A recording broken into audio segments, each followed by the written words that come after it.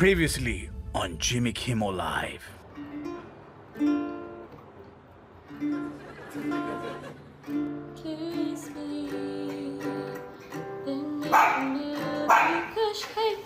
Uh-uh. Hey, no barking. No barking. Uh-uh. Hey, sit. Sit. Cushy. Cushy.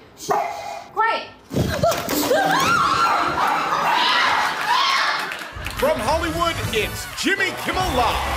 Tonight, Kathy Griffin, Luna, and music from Glenn Hanson with Cleto and the Cleto.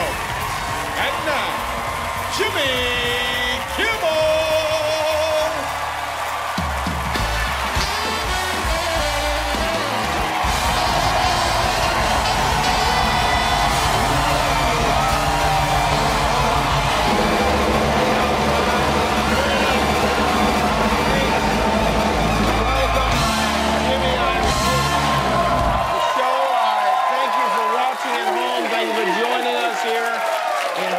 California, on our, um, our second night back at work. Thank you.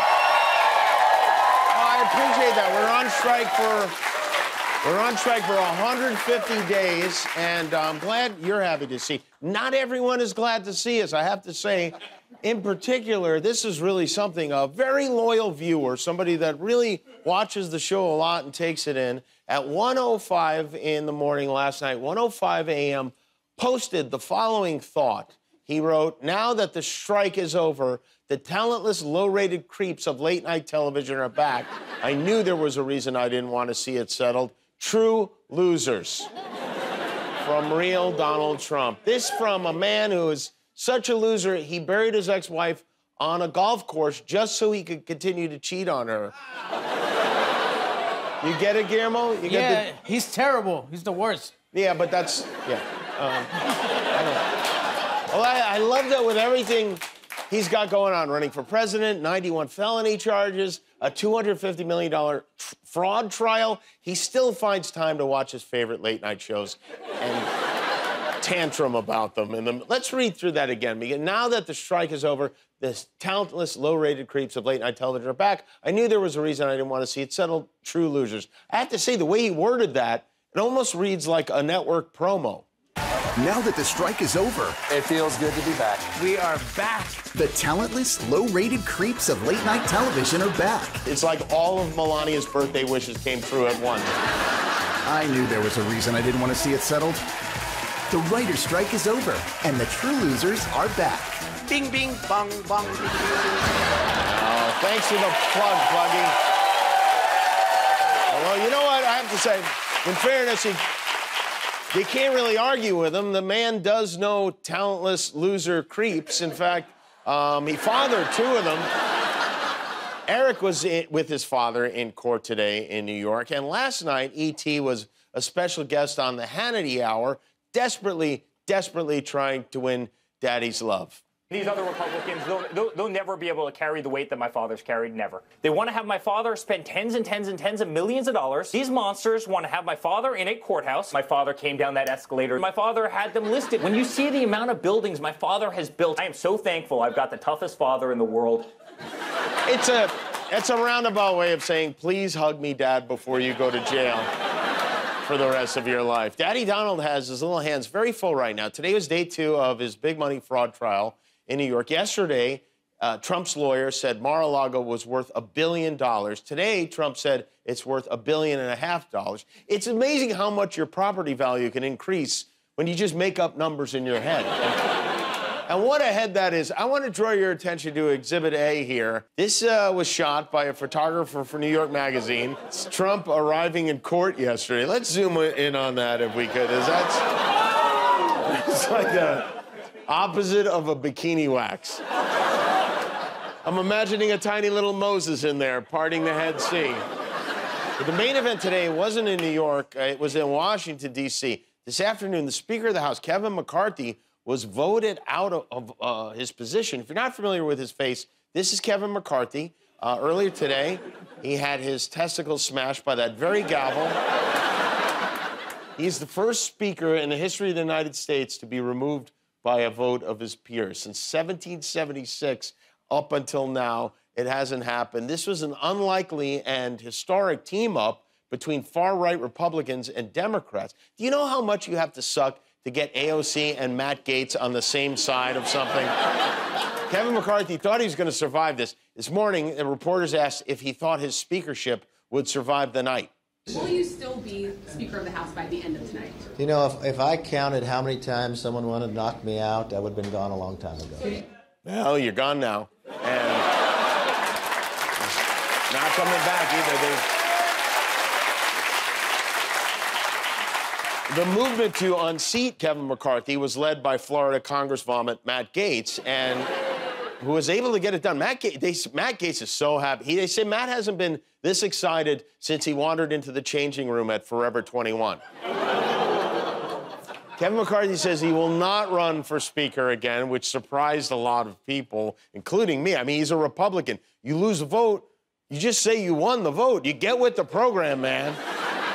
hey, speaking of car wrecks, last night I was watching, I don't know if you saw this, our local ABC 7 News. And I wanted to share this with the national audience because what I witnessed last night was one of the great police pursuits and performances by a reporter in a helicopter of all time.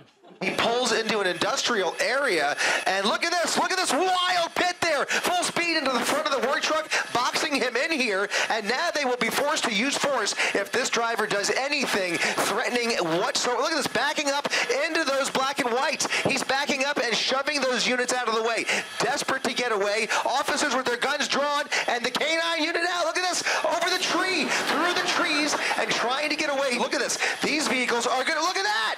The primary unit ramming full speed again. That vehicle is now disabled. The primary unit is now completely disabled. That work truck taking the fence with him and now getting on to the freeway, I think. He just got onto the freeway.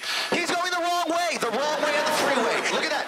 It's a female driver. A female driver jumping out of the vehicle, running into a cross Look at this. Oh my goodness. The female driver running across the 91 freeway. Those drivers don't see her.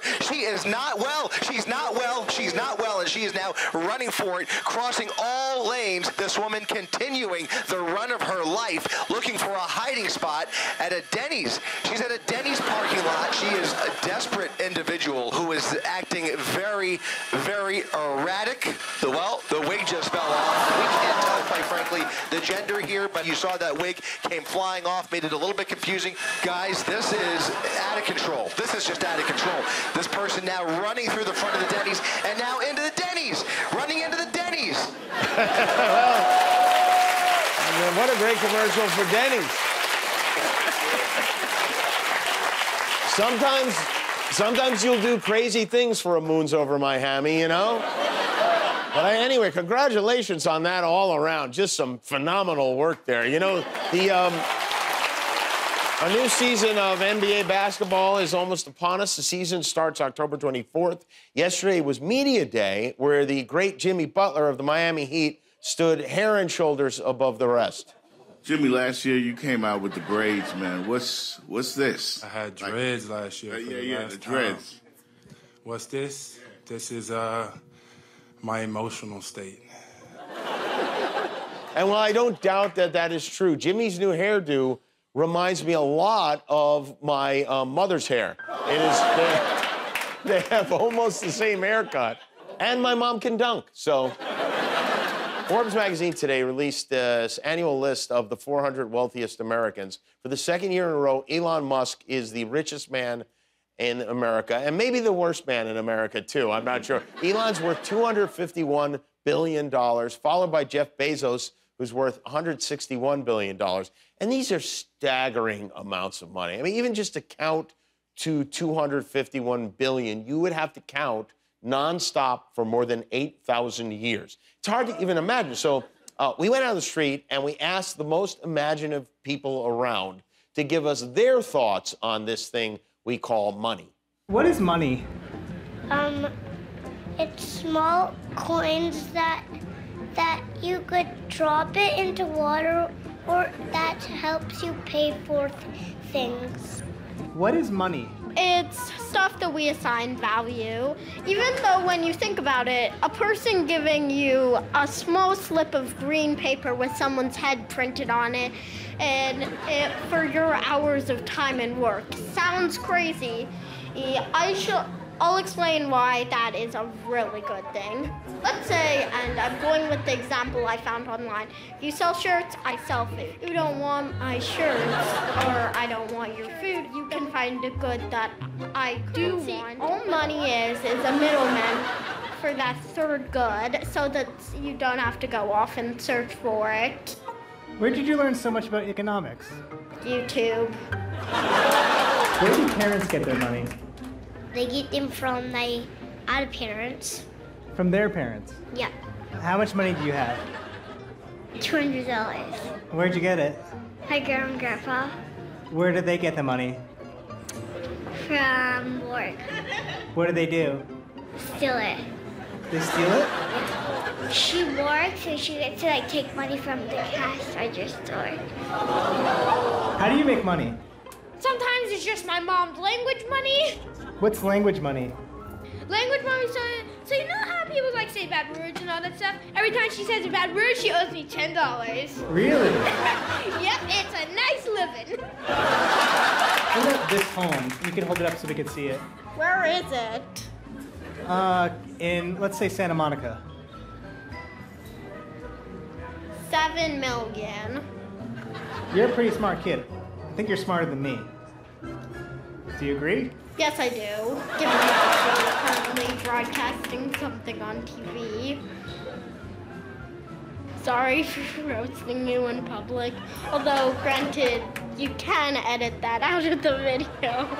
I have a feeling they're not going to. Okay?